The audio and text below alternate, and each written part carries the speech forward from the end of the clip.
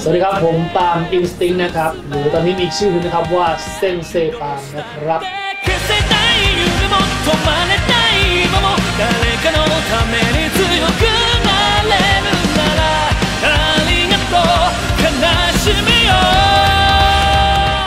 เซนเซปาล์มเป็นชื่อที่ใช้ใน t ิ k t o k นะครับสอนภาษาญี่ปุ่น คือมาเริ่มจากโควิด ตอนนั้นไม่มีงาน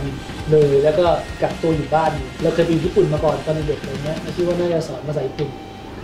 ดีกว่า ตอนแรกก็สอนไปก่อนแล้วก็ไม่ได้ใช้ชื่ออะไรเลยตอนแรก แล้วอยู่ก็มีคนมาเรียกว่าเซนเซปามขึ้นมา ชอบ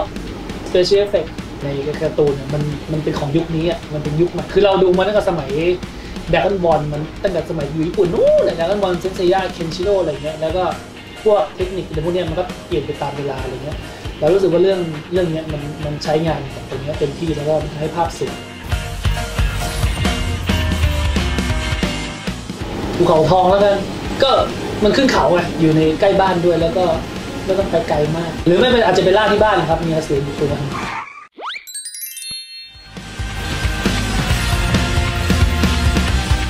เราดีใจที่ได้ที่ได้เป็นส่วนหนึ่งของ เพลงนี้นะครับ ไม่ได้ร้องเพลงแนวร็อกแบบจริงจังอย่างเงี้ยมานานแล้วเพราะว่าด้วยแนวดนตรีในในเมืองไทยอะคนก็ชอบฟังเพลงอีกแบบหนึ่งไปแล้วเลยพอมีโอกาสที่มาร้องเนี่ยมันก็เหมือนกับว่าแบบเฮ้ยกลับมามีกลับมามีไฟที่เป็นแบบชาวร็อกอีกรอบหนึ่งก็ท่อนรัวครับ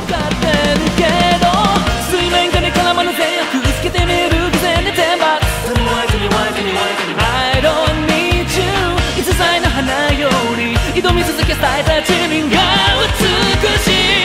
ฝากแฟนๆนะครับ ของวง Instinct นะครับ มาดูเอ่อภาพยนตร์เรื่อง